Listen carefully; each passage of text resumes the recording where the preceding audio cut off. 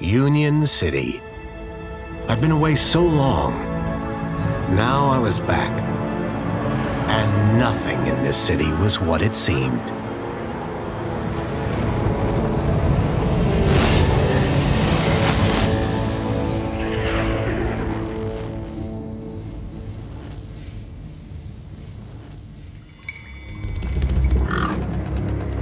Beyond a Steel Sky is a sequel to Beneath a Steel Sky. What we've done is to give it a comic book look because we felt that was really appropriate to the game. So we've used a thing called Toon Toy, which does toon rendering. It puts an edge onto rendered objects that looks like a hand-drawn ink line. And I think that's given the game a really modern look, a really different look, but in a funny way, a kind of a traditional comic book look. At the start of the project, I was looking at what technology. Originally, I had to look at various third-party cel shading renderers, but they didn't really offer the feature set that I needed in order to make this kind of the visual style that I had in mind and to emulate what Dave was doing in traditional comics. And the line rendering that we use is quite sophisticated. It's not just giving an outline to a character, it's also rendering um, converting the various normal map details, so wherever there's a bump or there's a crevice, it will render a line uh, in real time. So we're not having to draw the lines in the texture maps. So everything is rendered in real time. I suppose my biggest involvement, the thing I spend the most time doing is designing characters and designing backgrounds. If I'm designing a new character, I'll try and do 15, 20 different versions very quickly in the digital equivalent of pencil drawings and just send them out to everybody. And then we'll home in on three or four that we like.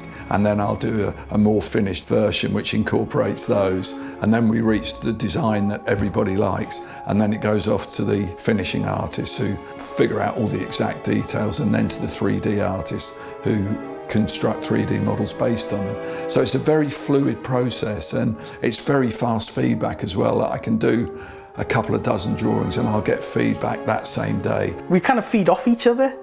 So I've got an idea of how to use the tech to get a given look and I'll bounce those ideas off Dave because he has much more of the traditional comic knowledge, especially for characters. Characters I tend to leave in Dave's core.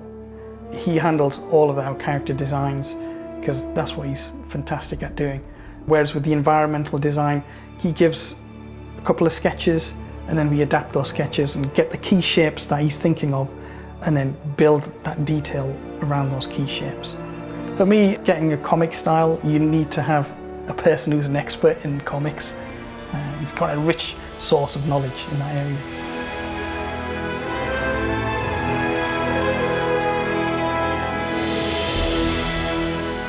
I was never trained as an artist, I was trained as a building surveyor.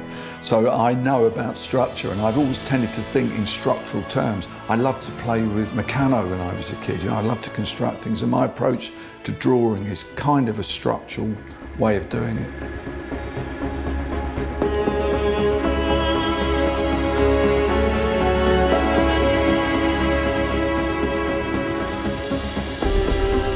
And I think the thing that uh, kind of characterises Beyond a Steel Sky is Within the city, we have different levels of comfort and luxury. And it was to try and differentiate those levels to go from something that's really elegant and cool and relaxing to something that's quite harsh and industrial. It's tremendous fun to come up with, with scenes and then populate them with believable figures. Is everyone feeling aspirational today? I think it'll be a really good game for newcomers, but we'll still have a lot of the uh, references to the old game as well, so fans of the original, there'll be enough detail in there to keep them happy. A lot of it gets inspired by the previous game, especially the artwork. So they'll get a good feel for the original and for newcomers, that they don't feel like they have to play the original in order to enjoy uh, Beyond. I think, uh, yeah, I think both sets of fans will be happy, I think. Foster! What the hell kept you?